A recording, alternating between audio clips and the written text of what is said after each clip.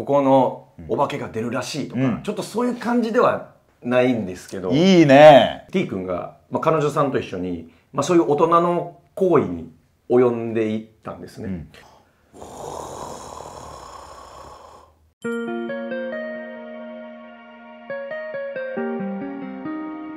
どうもよしいです、えー本日の怪談を浴びる会のゲストは西田どら焼きくんです。お願いします。す。西田どら焼きです。一応ねどら焼きじゃないんですけど、はい。本当は西田義孝なんですけど、でもこのチャンネル来る時の、はい。はいえーホラーチャイルドネームはい。がどら焼きでやっていただいてるんですよね、そういうことです。はい。さあ、えーホラチャイはい。第1号の、はい。えードラ焼きくん今日もちょっと、はい。えーぞっとお話しいただきたいんですけども、はい。今日はどんなお話ですか？あの、まあ、ちょっとこう階段とかっていう感じの、うーまあ例えばここのお化けが出るらしいとか、うん。ちょっとそういう感じではないんですけどいいね。ちょっとこうゾワゾワっとしちゃったいいね。ねっていう話をいいですか？いいですね。あのーすごい濃い味じゃないってことね。あそうです。はい。おだしね。はいおだし はい。あのカツオが香るみたいな感じで言ってくれるってことね、ただあの確かにスープは澄んでるんですけど味はしっかり。ああめちゃくちゃありがたい効いてるはずなんで。ちょっとうまみだけ。うまみ味わいたい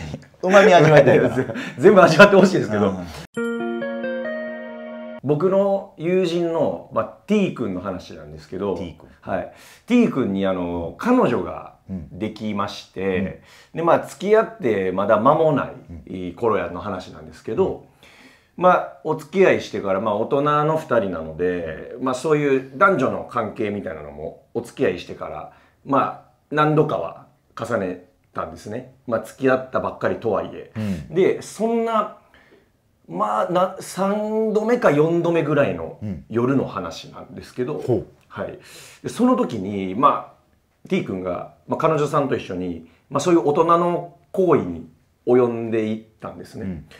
そしたら急にその彼女が行為中にですよ。この T 君をこう見上げながらうん「瓶出して」って言ったんですよで、おっってなって、でもあの、今までそんなこと、言われたことなかったんで、お急に、おっってなって、瓶だっつったら、あ瓶出してって言われて、で、まあやったことも T 君なかったんです、そういう行為怖いな。はい。で、でも、ここで、ちょっとやったことないし、したくないって断ったら、うん。うんまあ、その、感情的にその幻滅したりとか、まだ付き合ったばっかりやから、嫌われたりするのも嫌やったんで、受け入れて瓶出してみたんです。ほでパシッてやったら「いやもっと強く」って言われて。でも言われるがもっとバンうん。もっと。うん。バンっつって「もっと!」っつってバンって続けるんですよ。で続けたらなんかちょっとこう興奮してるというか、うん。その彼女も「でももっと!」って言うからバンって続けてやり続けるんですよ「続けて!」って言って下パンパンってやってたら「もうやめて!」って言われてパッて「ごめんちょっと強くしすぎたかな」って言ったら「あこれはやめないでっていう意味」って言われて。むずいと。性ってそういう前もんな。そうなんですよ。なんかね、その、そういう方のやめないでは続けるの意味だったみたいで。嫌よ嫌よもうのやつのやな。やつなんですよね。あだごめんってなって、今度、首絞めてってうん。言われたんです。で、さすがに首絞めは、これもやったことないし、うん。まあ今まで多分、この、M なことを隠してたんうん。とはいえ、結構なきつい M やなと。解放だ。はい、うん。で T 君的にもそんな S 気質の人じゃないから、ん。ちょっとさすがに困ったんですけどあー嬉しくはないんや、はい。なんか全部出してくれてるっていう感じではないんや。なんかそうなんですよ、ただ彼女がすごくこう M を求めてくることに飲まれたというか、であうん分かったって言ってでも嫌われたくない、うん。彼女の大好きなんで。で首絞めてって言われて言われるがもうこうやってグーって言ったら、もっと強く言ってグッてもうやるんですよ。もっと強くもっと強くって言ってグーってやったらもうその彼女がめちゃめちゃ興奮した顔するんですって、はだからそうかこれもいいんかと思ってもう T 君も初めてですけど一生懸命握っていうかもう自分の手も痛くなってくるんですって、はでグーってやってたらそのもう彼女もう首絞められてちょっと声潰れてきてるんですよ。あこうグッと締められてるんで、うん。で「うんいいいいよ」って言うんですよ、うん。で「いいんか」と思って「続けるよ」って言ってそのまま続けてこう呼んでたら彼女が「いい」じゃなくて「もうやめてもうやめて」って言い出したんですよ、うんうんうん。ででもこれさっきのやつやと思って、うんまだ続けなあかんと思って、グーって言ったら「もうやめてもうやめてごめんなさいごめんなさい」って今度謝り出したんですよ、でなんか言ってるけどでも、その続けた方が気持ちいいんやろうなと思って、うもうやめてもうやめてごめんなさいごめんなさいもうやめてごめんなさいお父さんごめんなさいお父さんお父さんごめんなさいって言って、ですゾッてして手パッて離して、うん。それずっと「お父さんごめんなさいお父さんお父さんごめんなさい」って言うんですって、彼女元をたどると、お父さんからずっと DV で受けてた仕打ちをプレーの中に入れ込んでたんですってその過去にあったその辛い出来事がトラウマを良かった思い出にしようとすることがあるらしいんです。よでこれは愛情表現の一部。まあいわばその好きだからこそやってることだって思いたいから大人になってからそういうプレーの中に入れたり自分は M だからそれを受け入れることができるっていうふうに自分の中で肯定しようとする人がいるんですって。うん。でもまんまそうやったみたいで。でもその T 君的にはもう受け止めきれなくて、ん。関係がおざなりになっていきだんだん距離ができて、まあ、そのお別れしてしまったっていう話を聞いたんですけど。うん。気持ち悪いな急にプレーの時にそれ言われたらめちゃめちゃ気持ち悪いやろなっていう。あれはきっとその私のことは嫌いじゃなかったし私に嫌なことをしてたわけじゃないんだっていうふうに思いたいっていう気持ちが働くことがあるらしいんですよね。自分がさ、はい。結構苦しめられたさ、はちっちゃい頃の体験を、ん。脳みそはいい思い出にすげ替えようとするんや。そうなんですよ。へえ。全員が全員そうじゃないけどたまたまその方はそういうケースやったってこと、ね、そういうケースだったという。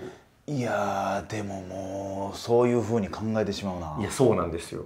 あーうわー。なんかそのあんまりあれやけど、はい。ある方がはい。こう道をさ、はい。こう歩いてたの。うん。ほんだらマンションのさベランダでさ、はい。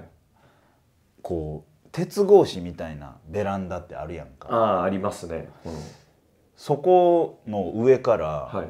小学校上がるか上がらんかぐらいはのい。子供はい。をこう乗り出してるお母さんがこうやってはい。めちゃくちゃ規制上げながらはい「なんだかじゃなんだかじゃ!」みたいな。は「い。や絶対虐待やん」ってなっていうん。でその先輩はそのマンションに住んでるわけ。はいでその階数も分かる。はい。